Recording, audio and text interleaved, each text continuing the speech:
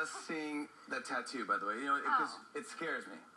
Yes, Did- it's a pressure point. I've had this tattoo for, you know, Yeah. 12 years or something, and it, it's where we hold all of our tension. So I used to torture you with it. Yeah, you used to do that, and I, it still Yeah, hurts. I think. I'm still bruised from it. Did you just press it? Yeah, well, I took acu acupressure for a couple years, and, and it's a very sort of ignored pressure point. I've seen you make people cry. I know you can kind of break down because you hold a lot of emotion. Boy, do I. Irish Catholic upbringing. Yeah, I do have a lot. Uh, It's, it's, it's a good one though. yeah. Well, we've known each other for a long time now.